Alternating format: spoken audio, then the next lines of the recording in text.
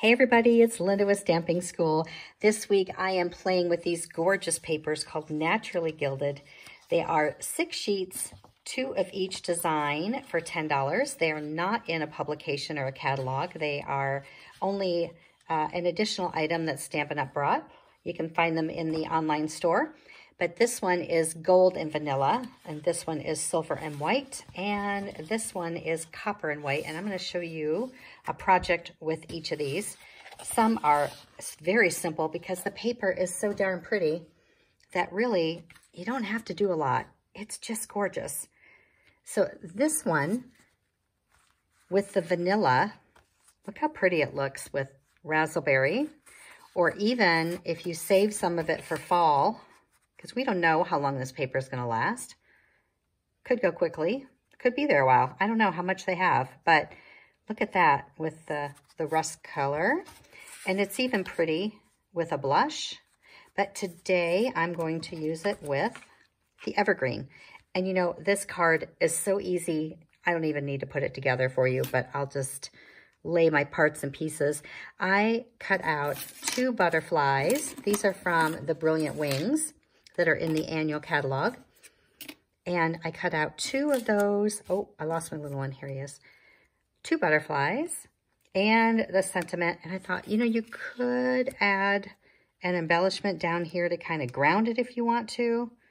But you know what? By the time I added the gold cord and a few of these little evergreen embellishments, just kind of put those on the butterfly, I think it's good. I don't know if you need to add anything else.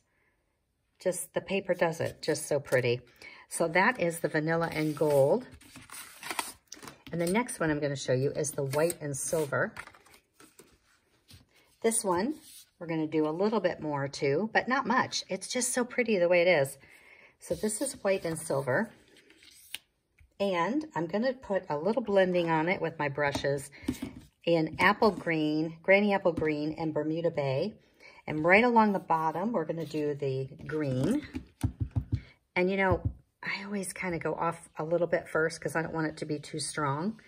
And then I blend up from the bottom because I don't want any blobs, but these brushes are great. If you don't have these, um, they're available in the Stampin' Up! store through me, but they're also, um, they're like makeup brushes. You know, if you have a makeup brush you're not using, you can use sponges, but they're really nice. And now they have them in the minis, which is really, really nice. They're even smaller ones for when you want to get into those small spots. So you go, just a little hint of green on the bottom. Turn it around and we're gonna do the Bermuda Bay down here. I love these two colors together. And you know, Stampin' Up! is gonna be doing a color refresh this year. So when the new annual catalog comes out, we will have figured out what colors are going, what are staying, and they do it about every five years. So I hope they don't take Bermuda Bay because I love it. Okay. Look how pretty. Just a little hint of that. Okay, because I cannot stand a dirty placemat. Oh, better. I layered this on a little bit of white because I felt like I liked the way that it popped on the blue card. So here's my Bermuda Bay. So for those of you that were with me last week on my video, you know I was having some lighting trouble. So I'm on my phone this week until I get my camera figured out. So I'm hoping it looks good. Now, oh, the sentiment. Let me show you how to do that.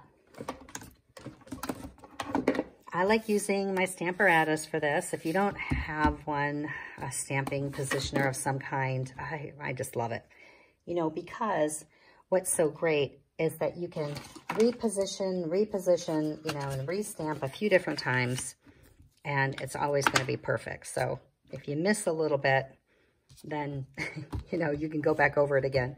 So green on the bottom and the Bermuda Bay on the top. So watch how easy this is. So that's the green. And I love that we can take this off. It's got the hinges. Blue along the top. I do the darker color last so it doesn't mess that up. And put it down. So if I look at this and I think, oh, you know what? It needs to be a little darker. See, I can go back over it again. Just kind of little green, a little more green on the bottom, I think. There it is. Now, there's a die that will cut this out, which is great, which I don't have in my hand at the moment. So I'm gonna, just going to cut that out with scissors real quick. And then we can add that right to the card. This is a super easy one. You could just stamp this in a solid color, I suppose. And it would still look great. I just, I like that it matches the horizon colors. Right there. So I added a little silver cord right there and one of these cute little dragonflies and then some embellies, little iridescent guys right there. And that's it on that one. Pretty. I'll, of course, do any colors you want here with the sponging. All right, that's that one. Next, the copper. This is the copper and the white. Now, Stampin' Up! had this design on their website. So if you are looking at products online, like if, you're, if you pull up that gilded paper, there's seven pages, and you can go through and look at the artwork that they have. And this was very similar to what they had, except I'm going to do a little extra trick on the inside. So we're going to cut this out once and then be able to use the frame on the inside. So I'm starting with Balmy Blue, and I've got a little layer of white. I'm using my deckled rectangles. Stitched rectangles would look great also. So this is four by five and a quarter. And take another piece of white, basic white, the exact same size, and then run that through. So what that'll do is we're going to cut out